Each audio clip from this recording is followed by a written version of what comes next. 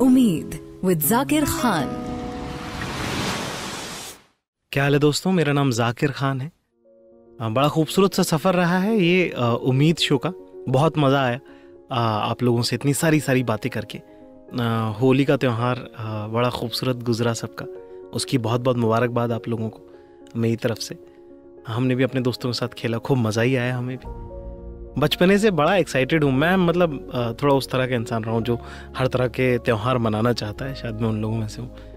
इस बार थोड़ा सा जो है जो जिसको कहते हैं ना, पार्टी नहीं नहीं, अल्फाज सही नहीं होगा वो। जो पार्टी ख़राब कर देते हैं लोग। तो वो कोरोना वायरस जो है, उस तरह का रहा मेरे ख्याल से। बहुत सारी पार्टियाँ ठीक से हो नहीं पाई। पर उसमें एक बड़ी खूबसूरत चीज़ ये हुई कि मैं कल शूट कर रहा था। तभी अचानक मेरी अम्मी का फ़ोन आया। तो मैंने उनका फ़ोन उठा लिया। मैंने कहा हाँ अम्मी, और क्या है कि हमारे घर में इस तरह से सेटिंग है कि पापा का फ़ोन बहुत रेगुलरली आता है। मम्मी भी पापा के फ़ोन से ही बात कर लेती हैं, क्योंकि दोनों साथ ही रहते हैं, पापा भी अब रिटायर हो गए और मम्मी अपने नंबर से बहुत कम कॉल करती हैं। तो वो बड़ा एक आइकॉनिक इंसिडेंट होता है कि मम्मी फ़ोन कर रही तो बड़ा उठाना ही मतलब वो कॉल मिस नहीं किया जा सकता, वो तो उठाना ही। तो मैंने उठा लिया भाई साहब, मैंने कहा हाँ जी अम्मी, बताइए क्या है? तो कहने लगी कि बोले अरे वो पापा ने तुमको फैमिली ग्रुप पे मैसेज भेजा था तुमने पढ़ा कि नहीं पढ़ा? और कुछ ऐसा ही मैसेज था कि कोरोना वायरस ये वो तुलसी हल्दी चंदन ये वो कड़ी पत्ता इस टाइप का कुछ मतलब टू दैट इफ़ेक्ट का मैसेज था। तो मैंने कहा कि आ, क्यों? बोले अरे बेटा इतना कंसर्न था उनकी आवाज़ में कि कहीं मैंने वो कोरोना वायरस का जो असली इलाज जो साइंटिस्ट नहीं ढूंढ पाए वो जो पापा ने हमारे कहीं के फॉरवर्ड करके जब हमारे फैमिली ग्रुप पे फॉरवर्ड किया है क्या मैंने वो पढ़ा या नहीं? इतना ज़्यादा कंसर्न था उनकी आवाज़ में कि मुझसे मना नहीं किया गया। मैंने कहा हाँ मैंने पढ़ा। और उसके बाद इतना रिलीफ, मेरी मम्मी की आवाज़ में मैंने कभी इमेजिन ही नहीं किया था यार। तो मुझे बड़ा मज़ा आ गया यार तो मैंने बोला, मम्मी हाँ और कुछ भी पता हो तो बताना। बोली, बताऊँ? मैंने कहा हाँ हाँ बता, बताओ। तो मम्मी ने बताना शुरू कर दिया और वो अपना बता रही हैं कि हाँ कि ये तू हाथ मत लगाया कर, किसी को तू सबसे हाथ मिला लेता है, लोगों से गले मिल जाता है। और जब कोई फ़ोटो खिंचाने आता है तो कई बार मैंने देखा है, तेरी आदत बहुत ख़राब है तो उनका फ़ोन ले लेता है है ना? खुद से फ़ोटो खींचने लग जाता है, फ़ोन मत लेना किसी का हाथ में, उसमें भी कीटाणु है। और मैं बोलता क्या मम्मी को? मैंने कहा, जी हाँ हाँ मम्मी, ये भी नहीं करूँगा, ठीक है ठीक है, बताना बताना बताना। और मेरे को ना मतलब दो दिन हो गए, देखो आज। अभी तक एक बार भी उन्होंने फ़ोन नहीं किया मुझे कि कोरोना वायरस का क्या चल रहा है, तू कैसा है? तो मुझे मेरे ख्याल से क्योंकि टेक्नोलॉजी को लेकर हमारा एक बड़ा रिपल्स है पेरेंट्स का और हमारा एक बड़ा रिश्ता जो है वो बड़ा बैड है कि उनको समझ नहीं आता कि क्या सही है और क्या गलत है और हमें ऐसा लगता है क्योंकि हमारे पास इंटरनेट का ज़्यादा एक्सेस है तो हमें ऐसा लगता है कि हमें ज़्यादा मालूम है। और उनके लिए इंटरनेट जो है वो एक टेक्नोलॉजी से आ रहा है। और टेक्नोलॉजी से आने वाली हर चीज़, जैसे कि टीवी पे आने वाली न्यूज़ सही होती है, ऐसे ही व्हाट्सएप पे आने वाली न्यूज़ उनके लिए सही है। वो हमें उन्हें धीरे धीरे डिस करनी पड़ी। हमें तो एकदम से नहीं कह सकते यार यार, आपको कुछ नहीं पता, आपको कुछ नहीं पता। उससे ना उनका कंसर्न कभी नहीं जाता, उनकी उनकी चिंता बहुत। आपको मानना ही, नहीं मानना, वो अलग बात है। कम से कम उनकी चिंता मुक्त तो उन्हें करो यार। उन्हें बोलो कि हाँ मैंने पढ़ लिया, और पढ़ तो लिया ही होता है, ऐसा तो कोई बड़ी बात है भी नहीं। पर आप उनको, उनकी कंसर्न के मोमेंट में आप उनको डिस नहीं कर सकते। उसके लिए अलग मौके आपको ढूँढने पड़ेंगे, उसके अलग तरीके से आपको कहना पड़ेगा। फिर मैंने अगले दिन शाम को फिर से उन्हें दोबारा कॉल किया। और उनको समझाया कि यार वो व्हाट्सएप पे ये वाला जो इलाज है ना ये मैंने करके देखा। आ, ये इतना सही वर्क नहीं कर रहा है ना? और आ, बाकी मैंने मतलब मैंने उसका आ, ऐसा ये डिफ्यूज़ नहीं किया कि आपने जो भेजा है वो गलत भेजा है। मैंने उसका ये तरीका ढूंढा कि ये ये उतना चल नहीं रहा आई थिंक मैं उसका कोई और पैरेलल थ्योरी लेके आया कि इस टाइप का एक मास्क है वो अपने को चाहिए होगा। है ना? तो मैंने कहा वो मैं भिजवाता हूँ आप लोगों के लिए आप लोग भी लगाइएगा अपने को आपसे ये करना है। तो rather being arrogant about it कि मुझे ज़्यादा पता है है ना? उन्होंने अलग तरह की ज़िंदगी देखी, उसमें उनका अलग तरह का मानना है तो हमें उनका साथ देना चाहिए। Let's make it like a collaboration कि हम सब मिलके कोरोना से लड़ रहे हैं। मम्मी, आप और मैं, चाहे आप लखनऊ में बैठी हैं, पुणे में बैठी हैं, इंदौर में बैठी हैं, है ना? और मैं यहाँ, चाहे दिल्ली बम्बई पुणे, कहीं भी जहाँ मैं हूँ, वहाँ आप जो है, आप और हम एक टीम है rather than us versus them करने की ज़रूरत नहीं है। छोटी बात है, उसके लिए रिलेशन ख़राब करने की ज़रूरत नहीं है। और इसी बात से निकलकर हमारा आज का टॉपिक आता है जिसके बारे में मैं आप लोगों से सबसे बात करना चाहता हूँ। क्या बहुत सारी ज़िंदगी में चीज़ें होती हैं जहाँ पे आपको जो है आ, बिल्कुल अड़ जाना होता है रुक जाना होता है पूछना होता है और मेरा आ, बहुत पसंदीदा शेर है वसीम बरेलवी साहब का। बार बार मैं उसे कोट करता हूँ मुझे इतना ज़्यादा पसंद है ज़िंदगी के मेरे बड़े फ़लसफ़े उस, उस उनकी गज़ल से निकलते हैं। तो शेर कुछ इस तरह से है उसूलों पर जहाँ आचाए टकराना ज़रूरी है जो ज़िंदा हो तो फिर ज़िंदा नज़र आना ज़रूरी है। कितना खूबसूरत शेर है। कितना इंपॉर्टेंट शेर है कि अगर आपके कुछ प्रिंसिपल्स हैं ज़िंदगी में, और कहीं पे अगर वो कॉम्प्रोमाइज होते हैं तो आपको बिल्कुल स्टैंड लेना चाहिए। आपको बिल्कुल अपने हक की बात कहनी चाहिए कि नहीं भाई, ये तो गलत है, बिल्कुल, ऐसा नहीं होना चाहिए था। उससे आप ज़िंदा हो, वो नज़र आता है। पर वही बड़े लोगों की बात है ना, वो दो तरह की बातें कह जाते हैं एक ही साथ। और हम लोग बस ऐसे, हम लेसर मॉडल्स बस समझते रह जाते हैं, उसके मायने निकालते रह जाते हैं। पर इसी गज़ल में आगे एक शेर है, जो और भी ज़्यादा खूबसूरत है। और वो कुछ इस तरह से है कि नई उम्रों की खुद मुख्तारियों को कौन समझाए? नई उम्र मतलब कि जवान लोग जो होते हैं। और खुद मुख्तारियाँ मतलब सेल्फ डिपेंडेंसी कि हम खुद से कर लेंगे, हमें आपकी ज़रूरत नहीं है। तो ये ज़्यादातर हम लोगों के बारे में ही शेर है। कि नई उम्रों की खुद मुख्तारियों को कौन समझाए? कहाँ से बच के चलना है, कहाँ जाना ज़रूरी है? ये मुझे और भी ज़्यादा खूबसूरत बात लगी कि कई बार जब हम नए चीज़ें सीख रहे होते हैं, समझ रहे होते हैं, दुनिया देख रहे होते हैं, और क्योंकि हम बहुत सारे बैटल्स जीत रहे होते हैं, लड़ रहे होते हैं एक साथ, उस दौरान हम ना एक चीज़ मिस कर जाते हैं वो ये है कि हम ना डिसीज़न लेना भूल जाते हैं कि कौन सी लड़ाई लड़नी है और कौन सी नहीं लड़नी है। और वही मेरे ख्याल से एक्सपीरियंस है। ये एक अकेली सी चीज़ है जो इंसान को अनुभव से आती है। बहुत ज़्यादा। क्योंकि इसकी कोई स्कूल नहीं हो सकती और ना ही कोई कभी आपको बताएगा। पर उम्मीद में हम इन्हीं चीज़ों के बारे में बात करते हैं, जो आपको शायद कोई कभी नहीं बताएगा। वो ये है कि not all battles are worth your यही मैं आज आपको बताना चाहता हूँ, इसी के बारे में बात करना चाहता हूँ। कि ज़रूरी नहीं कि जिस लड़ाई को हम इतना ईगो इशू मानकर लड़ रहे हैं, वो आपके वर्थ इट भी है कि नहीं? जैसे कि कोरोना वायरस का जो मेरी मम्मी ने व्हाट्सएप पे मैसेज भेजा है, वो मैसेज मैंने पढ़ लिया और उनकी बात मान ली, ये वर्थ इट ही नहीं है ये लड़ाई कि मैं उनको ये बोलूँ, नीचा दिखाऊँ, छोटा समझाऊं उनको कि आप लोगों को कुछ मालूम नहीं होता है, ये सब, वो सब, फलाना ढिमका, इस तरह की बातें। और मैंने कितने सारे अमेजिंग टैलेंटेड लोग देखे हैं, जो छोटी छोटी लड़ाइयों में बस उलझे रहते जिसका कोई सिर पैर नहीं है यार। वो वर्थ इट नहीं लड़ाई, तुम बहुत टैलेंटेड हो, तुम बहुत अमेजिंग हो, तुम्हारा टाइम बहुत इंपॉर्टेंट है। पता चला आपको साहब वर्ल्ड कप जीतना था, और आप पड़ोसी से कचरे की लड़ाई भी लड़ रहे हो। नहीं ना? अपने आप की आप वैल्यू नहीं करोगे तो फिर दुनिया कैसे करेगी आपके वैल्यू अपने टाइम की आपको वैल्यू करनी। क्या आपका टाइम आप किस चीज़ में इन्वेस्ट करना चाहते हैं, किस चीज़ में नहीं करना चाहते? इग्नोर कर दो बहुत सारी चीज़ें। आपके लेवल की नहीं है वो। जैसे नौकरी की बात बड़ी मुझे आ, लगती है। पिछली बार भी मैंने थोड़ी बहुत बात करी थी उस बारे में। वो ये कि ऑफ़िस में जो भी छोटी मोटी लड़ाइयाँ होती हैं बड़ी ईगो हर्टिंग होती हैं। उनको लेके आप बैठे रह सकते हो। मैंने जब नौकरी छोड़ी तब मुझे समझ में आया कि यार वो इतनी इंपॉर्टेंट ही नहीं थी यार। माशाला से मेरे रिश्ते जो हैं वो काफ़ी ठीक ठाक हैं, बहुत से लोगों से उनमें से खुद से नहीं भी हैं, क्या फ़र्क पड़ता है? है ना?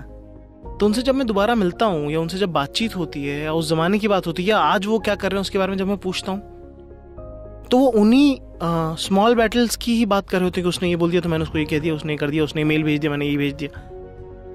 जबकि वो मुझसे, अगर equally I be modest that they're equally talented me most of them were more talented than what I can ever imagine पर वो लोग निकलने को तैयार नहीं क्योंकि उन्होंने इतना ज़्यादा उसे दिल पे ले रखा उस लड़ाई को।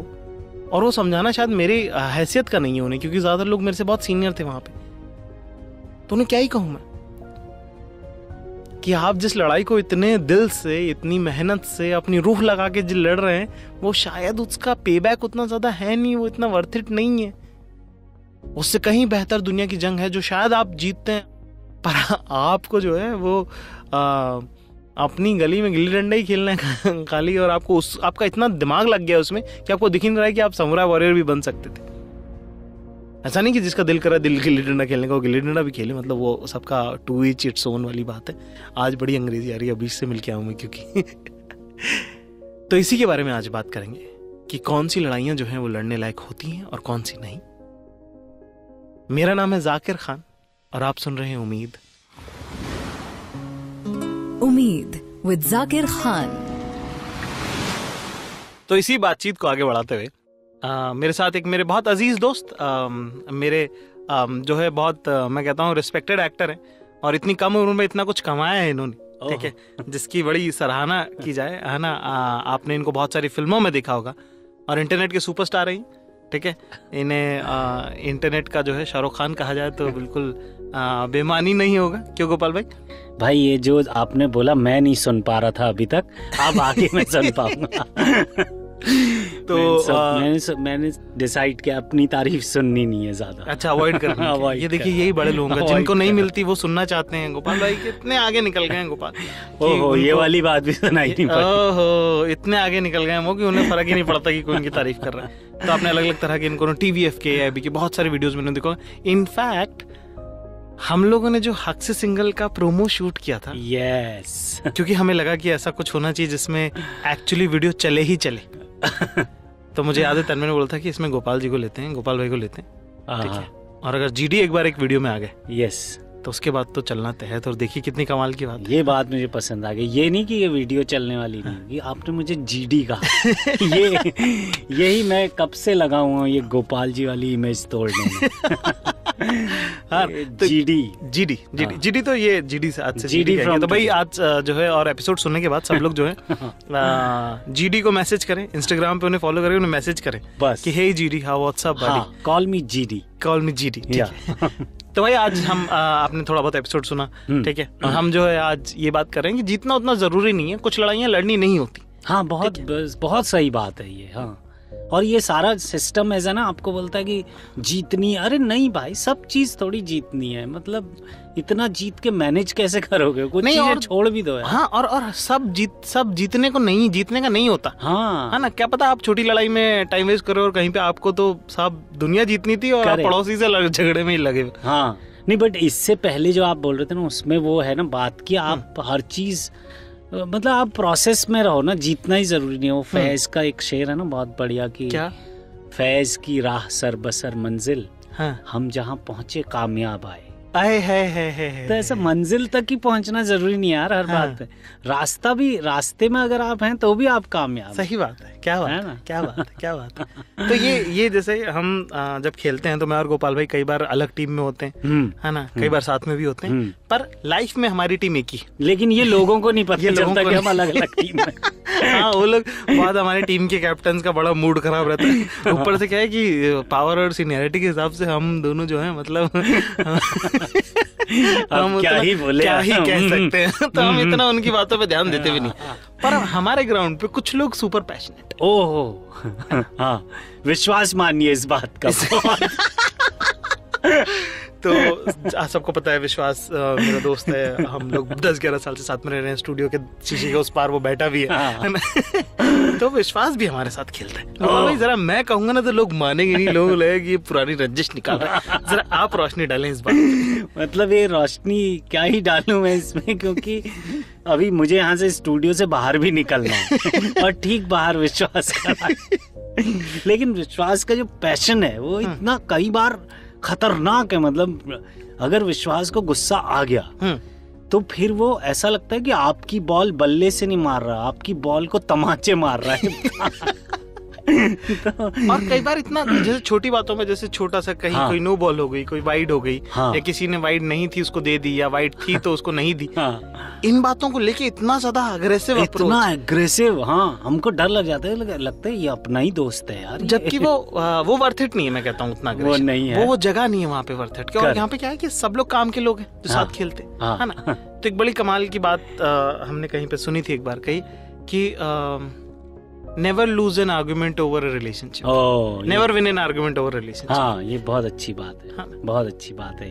कि आप आर्ग्यूमेंट के चक्कर में कहीं ऐसा तो नहीं कि आप हमेशा हमेशा का रिश्ता आप आप इसमें तो आपने स्मार्ट लाइन कह के या हाँ. आपने अपना पॉइंट प्रूव कर दिया। करेक्ट पर ये नहीं कि आप सोचे कि आप रिलेशन ही खराब कर लिया हाँ, आपने कि और आपने क्रिकेट के गेम में आप गुस्से में आके आपने ज़िंदगी का गेम हार दिया। गेम हार दिया। वाह क्या बात है क्या है ना? क्या बात तो वही है तो वो वो मतलब तो वो, वो मुझे वो नहीं है। हाँ वो मुझे वो किस्सा याद आ रहा है जब हाँ। उस दिन एक दिन हम लोग खेल रहे थे और हाँ। आपने सबको बैठा के पूछा था भाई तेरा क्या काम है? तेरा क्या प्रोफेशन है? और सब अलग अलग प्रोफेशन से ऑब्वियसली कोई क्रिकेटर नहीं था हाँ।